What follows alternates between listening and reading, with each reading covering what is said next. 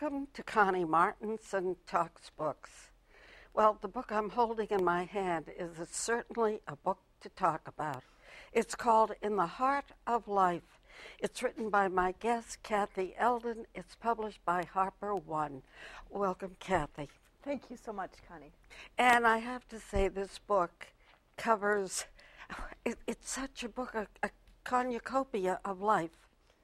I've, I guess I've had a rather cornucopic life. Right. It's been a very rich and full life filled with ups and downs and I say over under ins and outs, over unders and throughs. yeah. But it begins you begin the book with going to a psychic. Your son has been killed. He is has been one of the youngest reporters, photographers for Reuters. Yeah. And he has been in Somalia and he has been stoned to death. Those things you read about and you think, oh, it couldn't happen. It happened. Uh, yeah, and it, the unthinkable happened to me, and it happens to many people that tragedy strikes us out of the blue. And it, what are you going to do? And my instant response was that I didn't really want to live. Um, I rapidly decided I had to do something with it. But the visit to the psychic was a very unexpected thing for me. I wasn't planning it. I didn't particularly believe in them. But a friend of mine relayed, uh, recounted a visit that she had made to this particular woman named Brenda Lawrence, or Molly Martin was the first one. And she was so compelling and convincing that I booked under a completely different name mm-hmm. and went to Molly, uh, just hoping something might come through. I do think there are stranger, you know, it's Hamlet. There are stranger things under heaven than we know. Uh, anyone who has lost someone, there is, and there was a great connection. Something happens after. I believe now, and I'm a hardened journalist. I've, I've written for, I was 12 years a journalist. I've, I've done documentaries for CNN, PBS, and Turner Broadcasting and the Oprah Winfrey Network, I, I really am a pretty straightforward person. But in my experience, and I'm not an advocate and I'm not an evangelist, I'm just sharing my experience, energy remained. Dan's energy remained. I call him a noisy spirit, drives me mad at mm. times. But that spirit, initially through uh, an extraordinary psychic medium named Molly Martin, and later through Brenda Lawrence, who's still in my life every couple of years, really shaped the rest of my life and has enabled me in a way to believe that I could do things that I never would have thought were possible, simply because I was told that I would. And as a result of that belief system, which may be me de- completely delusional or, and, and, and foolishly uh, deluding myself, I have been able to, to accomplish virtually everything that Dan or the spirit of Dan or whatever it was told me to do. Kathy, in a way, I almost could say, can a small town girl from who graduated Wellesley find happiness and success in Nairobi, Africa? I had a wonderful time in Nairobi. Um, uh, I was arrived there as a very frustrated and sort of grumpy British bound or British suburb bound housewife and I'd been, I graduated from Wellesley thinking I was going to change the world, moved to the suburbs with my British husband, and thought I would kill myself uh, from the stultifying um, confines of this, that space. Arriving in, in Nairobi was like uh, an explosion of light and color and extraordinary people, creative, activist, amazing people. But if you had stayed being the American expat there, it wouldn't have been. It would have been more cloistered and what I would call white glove in the afternoon. No, I was never white glove in the afternoon, I'm afraid. I, I totally hear what you're saying. And many of my friends were, and, but I, I sort of burst out of that too, and maybe it was the Wellesley upbringing that you had as well, that that was not the confines that I created for myself. I did not want to be an expat wife, and I found a way to get a, a work permit and I, I started writing for the newspaper. I knew absolutely nothing, mm. but I could speak English, and so I became a journalist. Yeah, and your children were going to school. Uh, here is one of the pictures of the happy family at that time. Very happy family. Yeah, and your husband Mike was working for what? And he worked for the British equivalent of IBM, it was called International Computers Limited, and he was a hard-working computer. Um, he actually ran, ran, the whole country for IBM, I, ICL. And then it was that period where you go to families' dinners and such. Now you start to work for the newspaper. What happened from there? Well, Kenya at that time, and I don't know that things have changed, there, there is an undercurrent. It's, um, there is a book that was called White Mischief that was written about Ken- Kenya really in a previous period. But there was an undercurrent that things could happen in, um, the way men looked at women and the way women looked back. And it's a pretty corrupting uh, environment, and I, I, use that word um, thoughtfully. Um, I certainly fell under its spell and became intrigued with what could be possible if I weren't as confined as I, as an yeah. Iowa Methodist Cedar Rapids girl should had yeah. always been. You had a wonderful man who was taking care of the family, William. William is Amy's and Dan's second father. William was my confidant and my very dear friend. There's a wonderful picture in, in the book of Amy on the back of William, uh, which I particularly love. Uh, that that's not the one, but that's no. all right. now, was President Moi the head of Nairobi at that point? Initially, or? it was uh, President Kenyatta. President yeah. Kenyatta was actually died uh, two years into our stay there, and that was one of the scenes in the book where we were absolutely terrified because uh, there could have been a coup. We simply didn't know what was going to happen. President Moi took over from President Kenyatta, and there was a coup in Kenya, which I also describe in the book. Now we get to the fact that Kathy is a woman who, as I said, the song Is That All There Is, My Friend? You weren't happy. I was not happy, and I didn't tell anybody that I wasn't happy, and I didn't, um, I didn't do anything constructive about it, like maybe get help or therapy. I, I as I say, fell under the spell of, of, of East Africa and I met someone. Um, I met a uh, in Kenya. There were the Kenya cowboys who were the very intriguing mm. guys. I actually met a Rhodesian cowboy or a Zimbabwe Zimbabwean cowboy named Jeremy, and that story of what happened between him and me is one I tell in this in, in the book. And it was as if you were, I would say, drunk on sex. Yeah, you could say that. Yeah, yeah. I think I was a very sort of inhibited and frustrated person um, uh, through no fault of anybody's except probably the upbringing. But for sure, uh, yes, yeah. that's probably a good way to your put it. Your drug of choice is yeah. what I call it. Crack. But it is at this point, your children are very mature for their age. Well, Amy was 12, um, I think, when that all started, and, and Dan was 16, um, heading off to college, or, or so we thought. I think they were typical of kids raised in, in, no. in East Africa. I think they're, they are more precocious, perhaps. And you had friends who were photographers. Mo, I believe, was one of them. Mo, Mo Amin was one of the great photographers of all time for Africa. A very close friend and somebody who got Dan going in, in photography.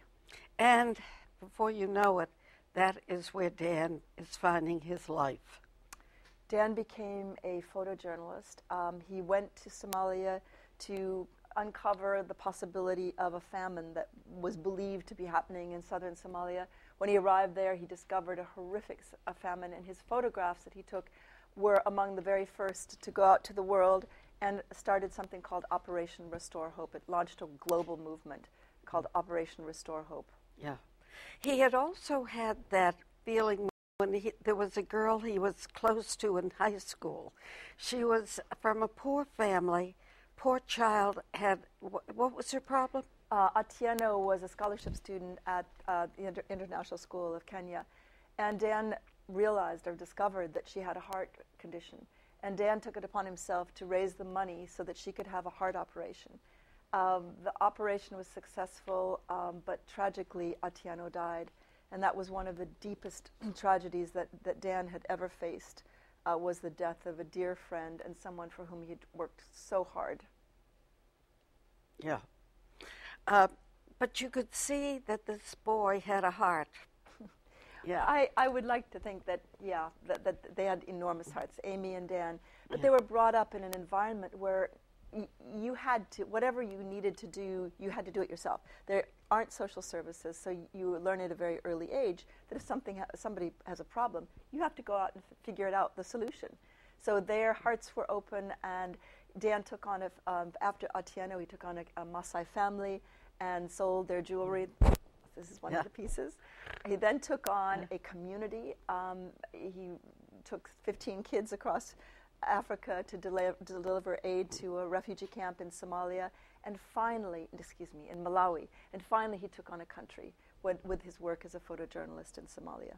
And oddly enough, the more one reads about Somalia, the more one says oh, they deserve the, each other, not our people. Yeah, Yeah. it's really sad. I think that it's a it's a very violent society. I just wrote an article for the Huffington Post about this, and it, it was called "Living to Forgive."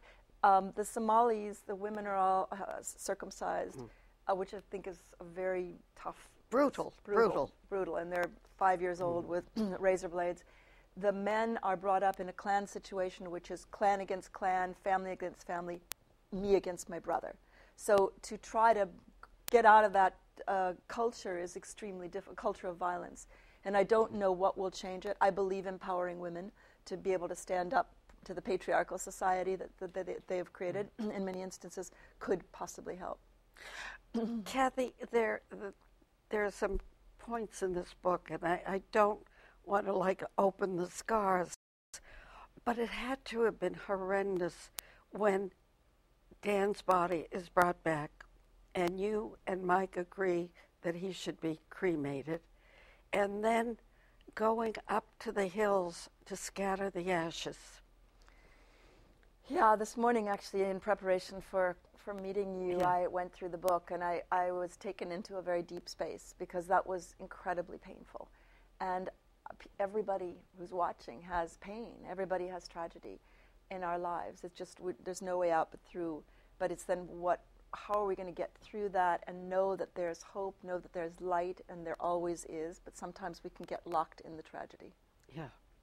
And at that point, you now go back to London, and uh, money is tight. You've been so independent that you're there uh, wondering where, you know, where the mortgage comes from.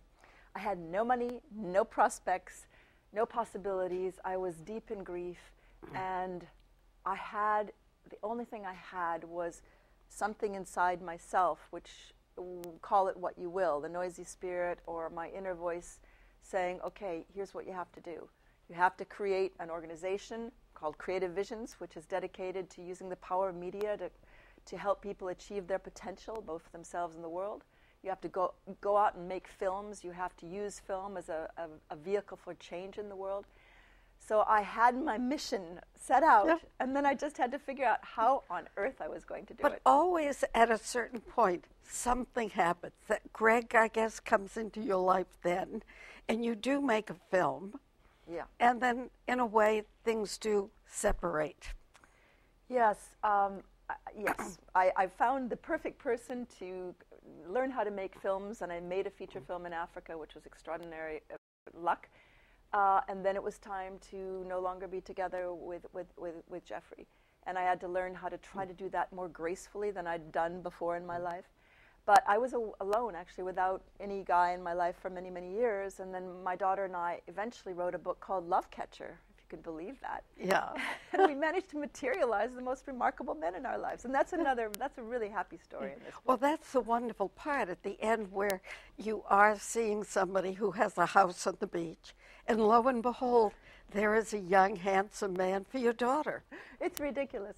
Um, my, this lovely man I met, Michael, was renting to this guy, John Turteltaub, who was a director, at that point directing National Treasure, which everybody's seen with Nicolas Cage. And Amy caught a glimpse of John and thought, hmm, this could be interesting. Uh, but he was dating somebody else. But he became free.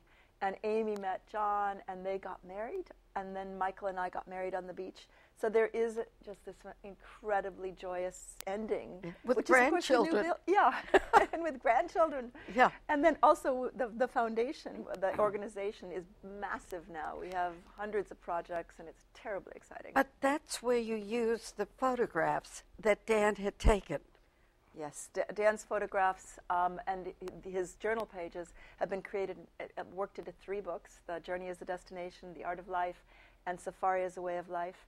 Amy and I have written a load of books, but the hardest one I've ever done is In the Heart of Life. I would think so. forever. I, I was amazed at how you would absolutely strip yourself naked Yeah. to write this book. You know, I felt compelled to try to help other people through my experience. I've been so moved by the comments, the letters, the emails from people who believe that it gives them permission to be human, that they have found new hope in the book. And I guess it was, please God, it was worth it because it is, I have been stripped naked in this book. It's true. Yeah. You from the beginning to the end. Yes. And what do you think? Should I have done it? Uh, I'm not sure I would have had the guts, it's courage, to be able to sit down and write as if you are going through it at that moment. Well, thank you. I hope that's a positive statement. You know, yeah. Oh, yeah. Uh, yeah, thank you. It's it's uh, the hardest thing I've ever done. It took me 16 years. I say it took me 16 years to, to, to write a fast, uh, fast read because people tell me they just sit down and they want to finish it in one or two. Um, Beautifully written. And you. I thought, well, she learned at Wellesley. Thank you. we're gonna we're gonna call the English department right now. They deserve it. Now, but writing for newspapers also gave you the facility to write this way. Uh, interestingly, yes and no. I, I'm very good probably at, at recounting detail. I could describe all of this. but in writing for newspapers, you do not write about your own emotions. So I finished this book over and over and over and would send it off and hope that somebody would buy it. They never, they said, Did you feel anything when your son died? Did, did you, you know, feel? And so Ah. I had to go back in and learn how to write about my own emotions. And that took me three years, to be Yeah. honest, just to weave tho- those feelings in, which are absolutely critical. But I was not trained to do that. But I would think in doing it, there's an enormous amount of depression that had to seep in. Oh, It just happened this morning when I when I went back into the book and reread it uh, hastily. Yeah. I went through those emotions, and I think people tell me they cry a lot in this book, and then they laugh and screech out loud because it's very very funny as well. But yeah, Yeah, and of course, Mike, I, my heart went out to him, and his whole life changed too. very much so. And when he saw my wife go into the night, it, it, it- he wrote a poem when I when I left, and it was devastating because I knew I loved that man, but I knew there was another calling for me. And can you justify it? Can you can you say that it was okay? I mean, now we look back and we're both very very happy, but I caused enormous pain and enorm- enormous grief in that family. But everybody became who they are. But it's not like I can say, oh, it's all fine. It wasn't fine. It was awful. How did you make the adjustment with Amy? Amy always defended me and was always very protective of me and of her dad. Um, Amy moved to London to be with me from Kenya, and we were just like Amy and me against the world. Or, and she's became my ally.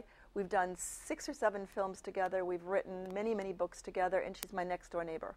Uh, so it's, it's like, whoa, you know, I think that's the book is how on earth do you get along with your daughter that well that you can enjoy her? Because that is a difficult position that you were in in London.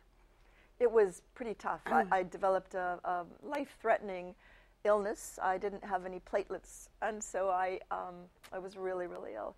And for Amy to have to know that I, I could die, which I very, very nearly did, that was really incredibly tough. I mean, you know, you just have to have this tremendous faith in yourself and, and your ability to get through things. But if you don't, also to train other people around you or teach other people around you how to get through those things.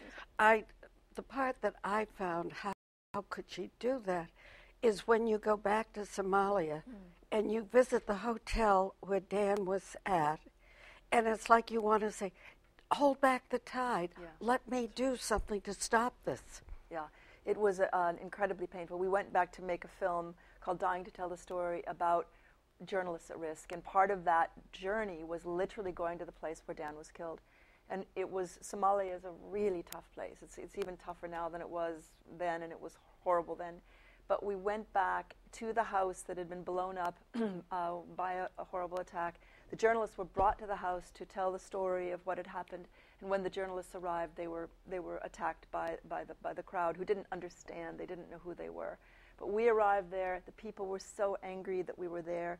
They circled around us. they followed us to the car and banged on the on the car, on the vehicle, saying, "You remind us of all the horrible things that happened. We don't want you here." Well, some of it had to do with the American helicopters flying over Somalia and uh, coming down and I guess strafing a bit.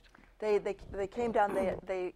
Um, they thought that a warlord was there, um, Mohammed Adi, General Aidid. He wasn't there. Their intelligence was faulty. There were women, children. Uh, uh, 58 people were killed, uh, 200 wounded. But what they did is they dove in with the helicopters and they bombed the staircase so that nobody could leave. So the, the walls collapsed, the people were trapped inside, the children, the women. And then when the guys crawled out, they shot the people who crawled out. So it was one of these really unfortunate and tragic incidents, which then led to the, the anger of the Somalis to Black Hawk Down, which was two months later. And following that, everybody left Somalia, all the Americans, the UN, everybody left, and it became a breeding ground, a fertile breeding ground for Al Qaeda, and they created training camps there. So what's happening right now in the, the Westgate shopping mall a couple of weeks ago in, in Kenya is directly related to what happened all those years ago. And not only that, but the helicopter pilots were under order not to pick up the American. Yeah, that was uh, truly tragic. When Dan, um, after the bombing of the house, uh, you know, and the, Dan and the journalists went back in there. Um, when the crowd rushed uh, to, to, to, attack Dan, he started to run, and there was an American uh, military pilot abo- above him, but he was told not to pick him up because he wasn't military. That rule has changed since then. That's, That's good. something we were able to help change. Yeah. I mean, all of what happened there is so oppressive.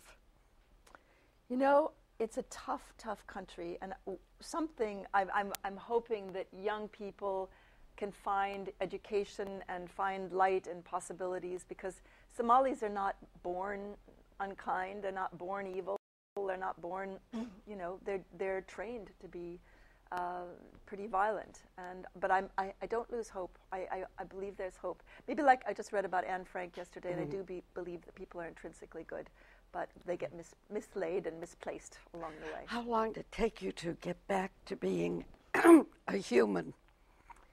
I'm still en route. I don't yeah. know that I, I think to be to be hopeful and to be positive and to be joyous took a long time. Yeah. There were moments, there were glimpses of light, but anybody who's been on that grieving journey knows it takes quite a long time. Did, did Amy name uh, either of her children after Dan? Yes. Um, her second born uh, little boy is called Daniel Eldon Turteltaub. Yeah. And he's a, he seems to be quite artistic, very cheeky, very very mischievous little boy. So you know, there's probably a bit of that noisy spirit that alighted in that boy. Well, does it give you a, a feeling when you see it? No, I think that um, I feel like I've al- already got this crazy spirit on around me, so I don't try to see it in, in, in Daniel. I just yeah. am grateful for, for all those wonderful spirits around me. And last, when were you last in Nairobi? I was last there seven years ago. I'm hoping to be there very soon because we're making a film about Dan, and we're hoping to be there uh, in the spring. So I, I, I, plan to be back. Keeping a life alive. Thank, Thank you. you. Will you sign my book, Kathy? I would be honored. Thank, Thank you. you. And if you'd like to know what else we've been reading, visit me on the web at www. Connie Martinson. You can read our columns from the Beverly Hills Courier. and uh, go to Claremont Graduate University Digital Library. They have digitized 1,400 of our shows, including one with Oscar Hijuelos, who has just passed on. If you would like to see him, go visit the library, put his name down under search, and it will come up. Interesting, interesting going back to see two, year 2000 with him. But whatever you do, support your local library. Libraries are our finest democratic institution in America. They will help you learn to read and read better if you're having problems with eyesight or you weren't taught really, I happen to say, to have been taught learning sounds so that people who have a problem, friends of the library, are helping them learn to read and read better. Now, nothing to do on a Saturday, go to your library. Most of them will have events happening, whether it's the West Hollywood Library that had their recent book festival, or and, and there, I must say, I was delighted to be able to moderate four terrific writers. It was a pleasure, and it was open to the public. And even this week, there is a writer, a creator of uh, Bro- Broken Bad, who is going to be interviewed at the Los Angeles Public Library. So your library is really, it's as Benjamin Franklin would say, you are learning to read and be a human. And that's our finest democratic institution. What did a library mean to you growing up? I started the library probably when I was, um, before I could read. I was taken at least twice a week to the library. I took home vol- volumes, biographies. I loved biographies. That's all I read. So maybe it was inevitable that I had to write this book. Absolutely. And thank you very much, Kathy. And we'll see you next time. Thank you.